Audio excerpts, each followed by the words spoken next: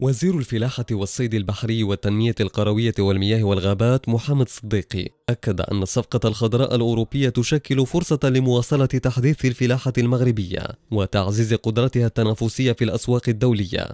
السيد صديقي وخلال افتتاح أشغال مؤتمر دولي منظم من قبل المؤسسة المستقلة لمراقبة وتنسيق الصادرات موروكو فودكس تحت شعار الصفقة الخضراء وتحديات استدامة صادرات المغرب نحو الاتحاد الأوروبي.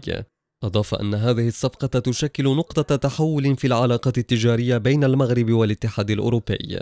الصفقة الخضراء واللي كتركز على الاستدامة آه، ديال آه، الفلاحة والاستدامة ديال الإنتاج آه، فهو يعني واحد الصفقة واحد المشروع اللي غادي يغير الكثير فيما يخص المعايير وفيما يخص يعني التتبع ديال المنتوجات الفلاحية. فاحنا الاتحاد الأوروبي هو الشريك الأول فيما يخص يعني الصادرات ديال بلادنا.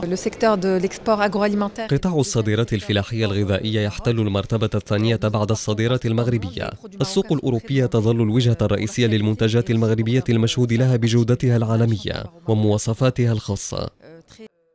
الصفقة الخضراء. تمثل مجموعة من التدابير الرامية إلى توجيه دول الاتحاد الأوروبي والبحر الأبيض المتوسط نحو نموذج مستدام يحترم الموارد الطبيعية.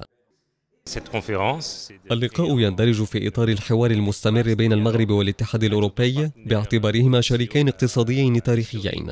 المؤتمر يناقش عدة مواضيع من بينها تعزيز العلاقات التجارية في ضوء التحديات المرتبطة بالاستدامة والبيئة.